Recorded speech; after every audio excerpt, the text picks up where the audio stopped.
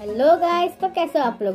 Welcome back to my channel anime world Hindi तो आज के इस वीडियो में हम डोरेमोन और परमैन के कुछ क्रॉस ओवर एपिसोड्स के बारे में बात करने वाले हैं। तो बिना किसी देरी के वीडियो को करते हैं शुरू। नंबर वन इस एपिसोड में हमें ये दिखाया जाता है कि जियान और सोनियो नोबिता से चिंगम के लिए लड़ रहे होते हैं। जियान और सोनियो चिंगम खा रहे होते हैं वो लोग ने नोबिता को नहीं दिया। जिस वजह से नोबिता रोते रोते घर आता है। डोरेमोन से चिंगम मांगते तो डोरेमोन उसे एक गैजेट देता है, जिसका नाम होता है इमेज गम। और नोबिता परमैन का कॉमिक बुक पढ़ रहा होता है वही सोच सोच के चिंगम खा रहा होता है। और उसने चिंगम जैसे ही फुलाया, वैसे ही एक परमैन बन जाता है। तो नोबिता बोलता है, ये कैसे बन गया था? डोरेमोन बोलता है, ये गैजेट है। तुम जो भी मन में सोचोगे, ये ग्लू मतलब ये चुईंगम वैसा शेप ले लेगा। तो मैं यहाँ पर एक रेफरेंस दिया जाता है, परमैन का। नंबर टू इस एपिसोड का नाम है डोरा क्यू परमैन और ये बहुत ही ज़्यादा पुराना है। इस एपिसोड में हमें ये दिखाया जाता है कि डोरेमोन नोबिता झगड़ा करने के कारण डोरेमोन गुस्से में बाहर चला जाता है और वहीं पे उसे परमैन मिलता है और उसके साथ साथ एक छोटा सा व्हाइट कलर का तो रहता है, वो मिलता है और वो तीनों चले जाते हैं घूमने। पर वो लोग के साथ एक दिक्कत हो जाती है। वो लोग एक आइलैंड पे गुम हो जाते हैं। वहीं पर वो लोग बहुत देर तक रोने पर, बाद में वहाँ पर वही वहीं जैसे व्हाइट कलर के बहुत सारे लोग, पाको भूवी और नोबिता आ जाता है उन सबको बचाने। उसके बाद इस एपिसोड में हमें इतना ही दिखाया जाता है, क्योंकि ये बहुत ही ज़्यादा पुराना एपिसोड है।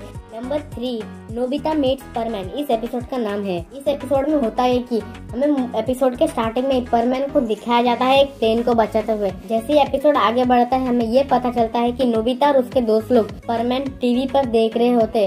और टीवी पे देखते देखते सुनियो नोबिता को अपने घर से भगा देता है। और वैसे ही नोबिता रोते रोते डोरेमोन के पास आता है। जैसे ही डोरेमोन के पास आता है, नोबिता बोलता है कि ये ये हुआ है। तो डोरेमोन उसके लिए एक बड़ा सा टीवी निकाल के देता है। अब डोरेमोन ने टीवी निकाला है तो आम चीज़ तो होगी नहीं।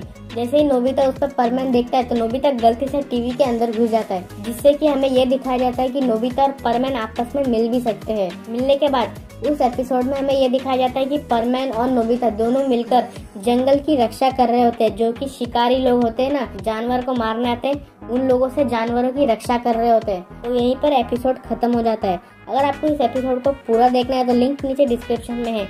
और मैं जितने भी एपिसोड के बारे में बता रहा हूँ, उन सब का लिंक नीचे डिस्क्रिप्शन में है। नंबर फोर आप लोगों को तो याद ही होगा, एक एपिसोड के दौरान डोरेमोन ने एक ऐसा एयरपोर्ट निकाला था जिसमें से हवा से उड़ने वाली चीज़ भी लैंड हो जाती है। उस एपिसोड में भी हमें ये दिखाया गया था कि जैसे डोरेमोन ने अपना कारपेट रखा, वहीं पर परमैन उसके दोस्त लोग बर्डमैन सब आ जाते हैं। तो इससे तो ये कंफर्म होता है कि परमैन और नोबिता का यूनिवर्स एक ही यूनिवर्स है। At the end last number five इस एपिसोड का नाम है Doraemon birthday special movie giant डोरा रकून इस एपिसोड, ये कोई एपिसोड तो नहीं है, इसे हम एक शॉर्ट मूवी समझ सकते हैं। इस एपिसोड में होता ये है कि नोबिता एक परमैन का शो देख रहा होता है। वहीं पर हमें आसमान से एक ऐसा क्रिएचर देखने को मिलता है जो कि धरती पर आता है और डोरेमोन गलती से उसको अपना डोरा केक समझ के खा लेता है। वहीं पर बहुत ज़्यादा डोरेमोन को दिक्कत होने लगती है। डोरेमोन धीरे धीरे बहुत ही ज़्यादा बड़ा हो जाता है। फिर उसको रोकने के लिए एक पुलिस ऑफिसर भी आती है, जो कि हाईटेक होती है।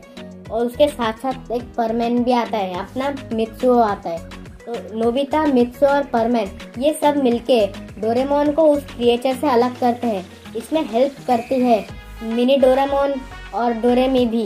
अगर आपको ये एपिसोड देखना है लिंक नीचे डिस्क्रिप्शन में है। अगर आपको आज का वीडियो पसंद आया तो वीडियो को लाइक करके शेयर करना बिल्कुल मत भूलना।